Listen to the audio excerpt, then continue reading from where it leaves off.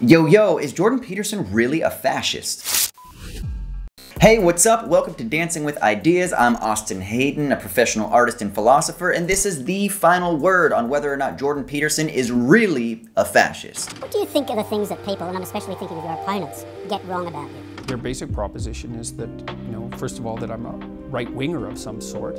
That's just not the case. Jordan Peterson is an academic, a clinical psychologist, and popular YouTuber whose content has been viewed over like 150 million times, and whose last book, telling men to stand tall, clean their rooms, and wash their penises, was a worldwide bestseller. But he's courted controversy for his very open opposition to many contemporary social issues that he deems to be part of the radical left, which has led some commentators to refer to him as being a part of the far right and even fascist. So here's three reasons why Jordan Peterson is not in fact a fascist, but how he is flirting quite heavily with what I will call the logic of fascism. And there's a distinction here that matters, and I'll explain why later. There's been an obsession with categorizing people as alt-right, alt-light, new right, etc., etc., with the rise of Trumpism in 2015. Factions have split between old centrism, populism with the Bernie and Corbyn movement, and Trumpism, which is sometimes referred to as authoritarian neoliberalism, economic nationalism, and the like. But part of the problem here is categorization. Sometimes it's too easy to just stick any sort of particular individual into prefabricated categories, and in the process you end up losing a little nuance that is probably really important for us to consider. So who is Jordan Peterson? Well, let's listen to him describe himself to, or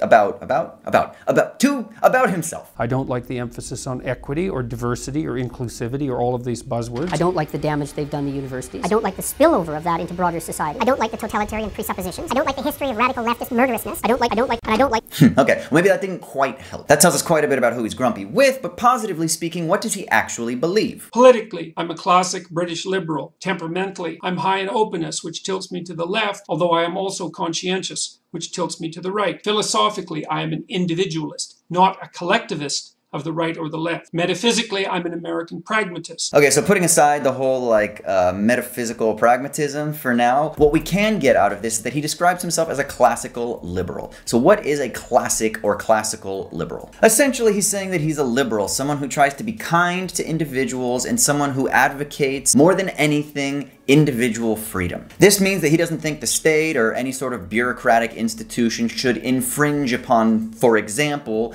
anyone's free expression or free speech. Therefore, as a self-described classic liberal, JP advocates for personal and economic freedom. He also advocates for self-determination, which means that he centrally is concerned with people's moral disposition in and to the world. We might call classic liberalism the ethical framework of capitalism, which makes perfect sense that he would be drawn to this designation because his whole shtick is basically being centrally concerned with morality. You would like men to regain or reclaim their strength physically, mentally, and morally. Is that broadly correct?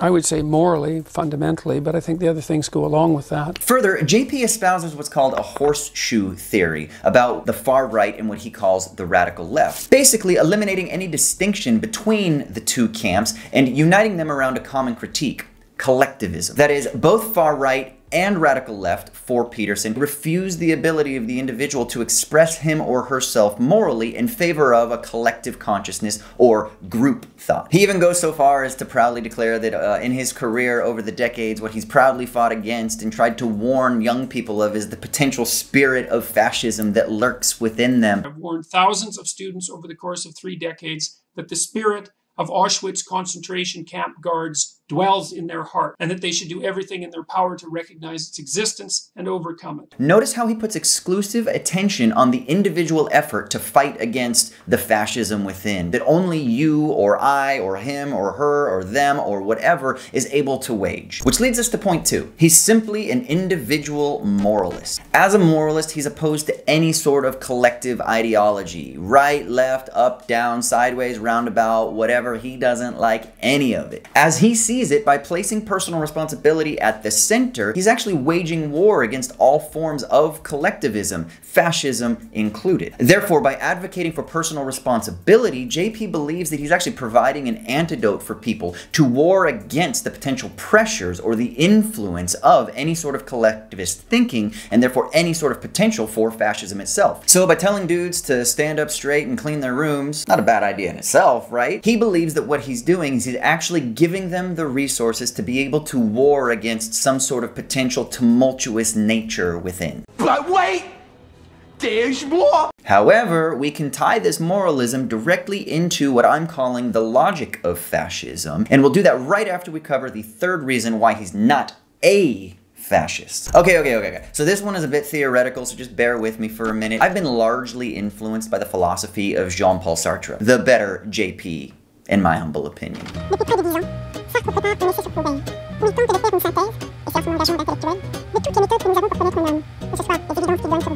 For Sartre, you are what you're not, and you're not what you are. What? This means that the human never just is what it is. It is what it is. From mundane activities to just starting your day so you can go crush it as a barber to the kind of more exciting ones, like when you get to cut a zero fade flat top for your boy with little eyebrow slits. All of these activities are expressions of freedom as we're transcending the present, we're transcending our current status towards an open field of endless potential. There's a sense in which there's this constant process of self creation in absolute freedom that characterizes the human spirit. So we are what we're not.